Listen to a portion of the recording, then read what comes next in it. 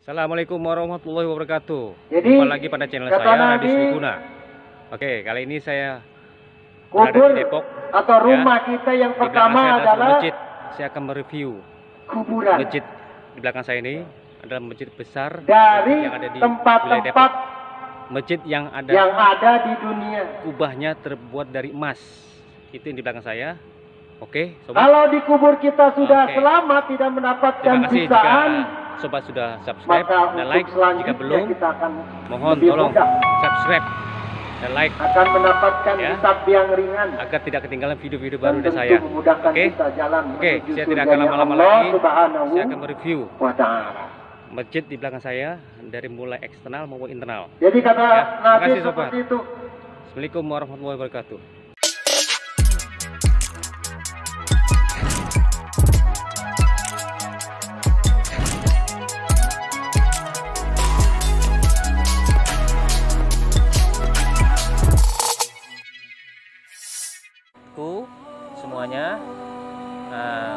Kita eh, ikuti perjalanan saya. Oke, saya akan menceritakan sejarah berdirinya masjid Kubah Mas ini. Oke, awalnya adalah sebuah masjid yang dibangun di tepi jalan raya Maruyung, Limo Depok di Kecamatan Limo, Depok. Masjid ini selain sebagai masjid tempat ibadah sholat bagi umat muslim sehari-hari, komplek masjid ini juga menjadi kawasan wisata keluarga dan menarik perhatian banyak orang karena kubah-kubahnya yang dibuat dari emas. Selain itu, karena luasnya area yang ada dan bebas diakses untuk umum, sehingga tempat ini sering menjadi tujuan liburan keluarga atau hanya sekedar dijadikan tempat beristirahat. Oke, kita lanjut ya sobat ya.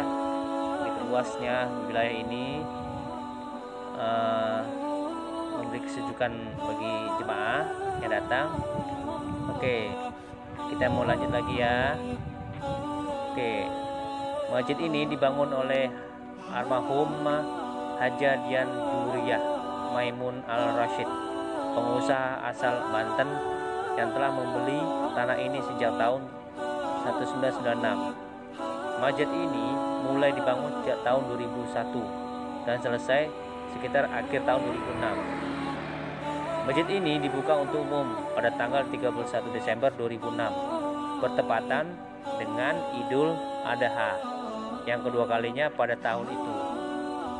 Adapun luas kawasan adalah 50 hektar. Bangunan masjid ini menempati luas area sekitar 60 kali 120 meter atau sekitar 8000 meter persegi.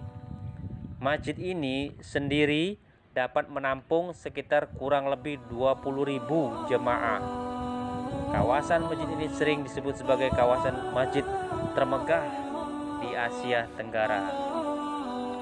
Oke, dari segi arsitektur ya sobat, bahwa masjid ini adalah memiliki memiliki lima kubah, satu kubah utama dan empat kubah kecil. Uniknya seluruh kubah dilapisi emas, ya dilapisi emas eh, setebal 2 sampai 3 mm dan mozaik kristal. Bentuk kubah utama menyerupai kubah Taj Mahal. Kubah tersebut memiliki diameter bawah 16 meter, diameter tengah 20 meter, dan tinggi 20 meter. Sementara empat kubah kecil memiliki diameter bawah 6 meter, tengah 7 meter, dan tinggi 8 meter.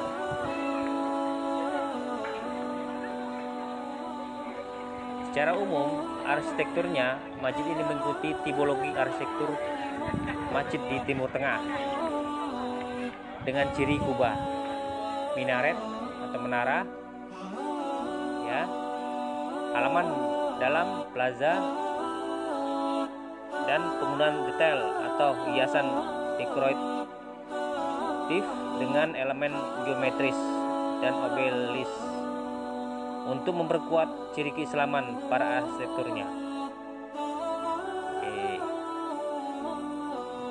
Nah, ciri lain adalah gerbang masuk berupa portal dan hiasan geometris serta obelisk sebagai ornamennya. Wah, sangat langka ya sobatku rupanya di Indonesia juga mempunyai ada gua yang agung dan besar dibandingkan dengan masjid-masjid negara lain. Oke.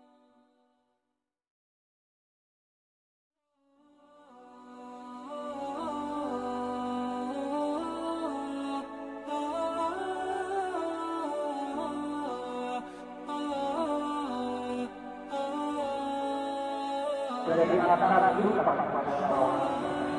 Dulu sebelum negara atas supaya juga dekat pada masyarakat.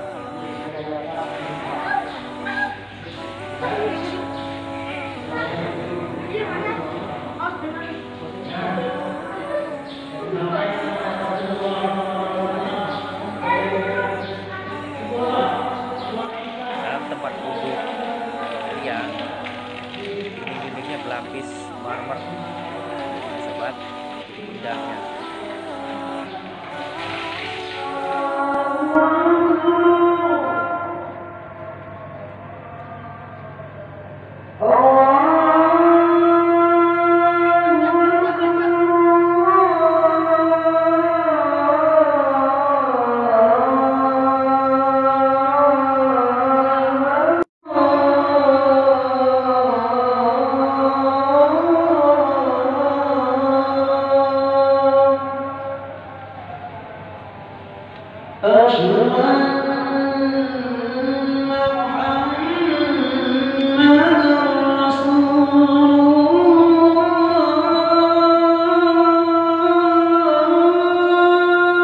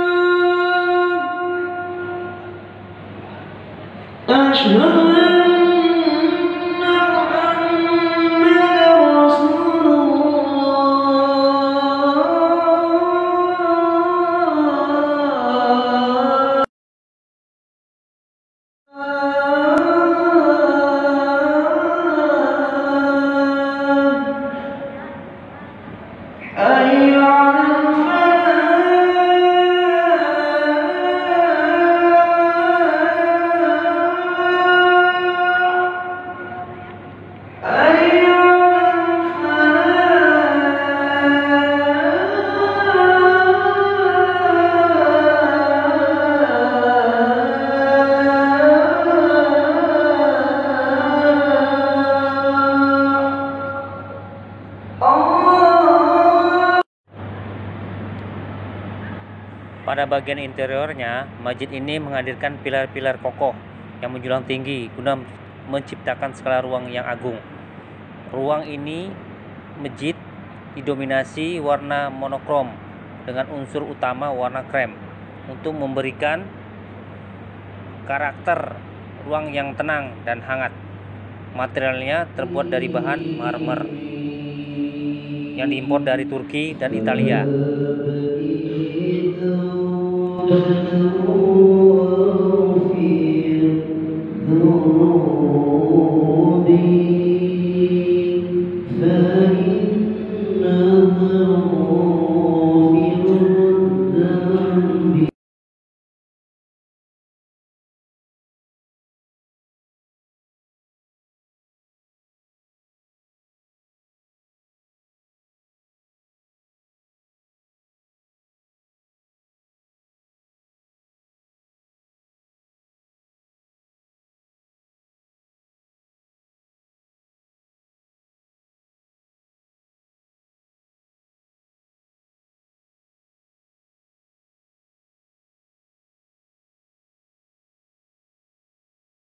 Di ruang tengah tergantung lampu terbuat dari kuningan berlapis emas seberat 2,7 ton yang mengerjakan digarap ahli dari Italia.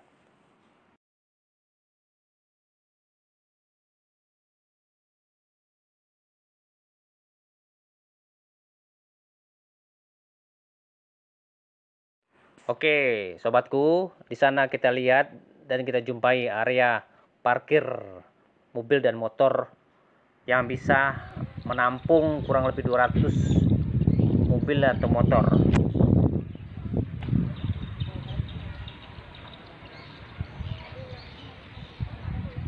Alhamdulillahirrahmanirrahim. Akhirnya kita sudah di ujung video saya, perjalanan saya Oke, eh, semoga ini menjadi inspirasi sobat dan referensi ya. Eh, jangan lupa untuk eh, subscribe dan like ya agar tidak ketinggalan video-video dari saya baru. Oke, sampai di sini dulu ya, sobat. Sampai ketemu lagi, sampai jumpa lagi pada video berikutnya. Dah, wassalam.